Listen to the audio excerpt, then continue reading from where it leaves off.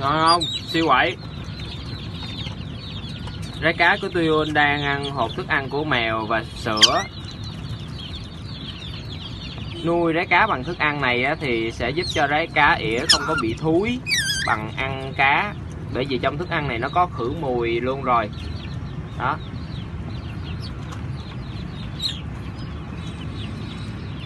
Ăn cái này nó cũng no hơn thức ăn ờ, ăn cá nữa rồi mình sẽ bổ sung cho rái cá bằng à, dầu cá thêm để mình khỏi cho rái cá ăn cá.